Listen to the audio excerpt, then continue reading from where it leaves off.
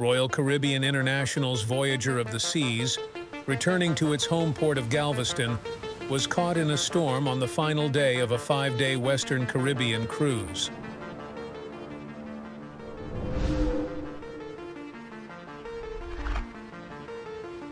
On the last day of the cruise, a severe storm developed in the Gulf of Mexico. The rain quickly intensified to the point where all outside decks were closed off by the ship's crew. Hail pounded on windows, 80-mile-an-hour winds blew furniture across balconies, and choppy waves reached at least the fourth deck. Chaise lounges tied together on deck 11 flew around, making a mess.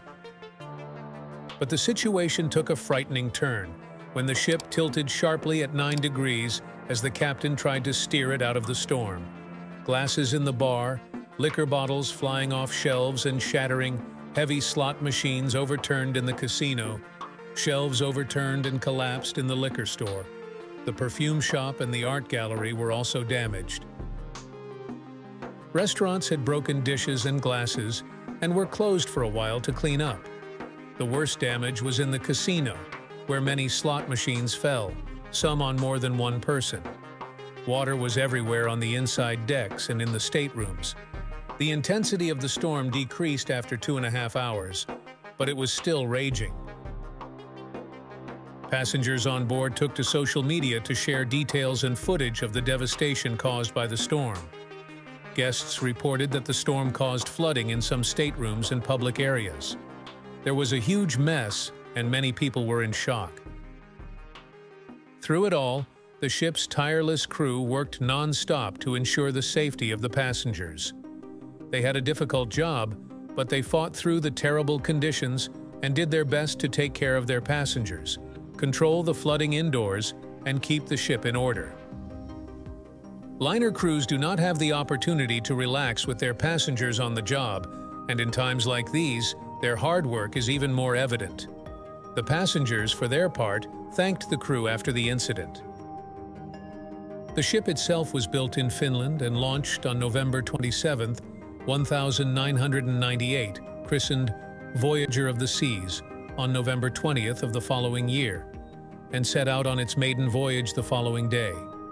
At the time of her maiden voyage, she was the largest sea liner in the world, although she was overtaken the following year by a very similar ship, the Explorer of the Seas. The liner has a total length of 311 meters, a width of 37 meters at the waterline, and a height of 63 meters.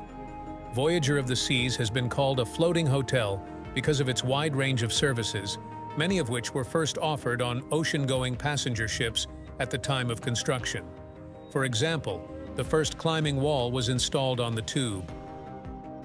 It was also the first time that a skating rink was installed on the liner, and it was also adapted for the performance of shows. During the first few weeks of operation, the rink experienced a number of problems, e.g. ice cracking due to the ship's instability and hot ventilation pipes on the lower deck, but these were soon resolved. From then on, ice rinks were installed on all later liners of this class. In September 2019, Voyager of the Seas underwent a $97 million refit, which included the addition of 72 passenger staterooms. The ship can accommodate 3,600 passengers in double occupancy and a maximum of 4,000 passengers. It is ideal for families, with entertainment designed for children as young as six months old. However, this versatile ship offers entertainment for cruisers of all ages. The many sun decks and swimming pools provide a fun time while relaxing on one of the many lounge chairs on the upper decks or in the tranquil surroundings of the spa or fitness center.